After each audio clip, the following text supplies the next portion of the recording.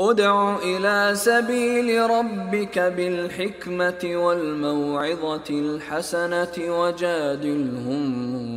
بالتي هي احسن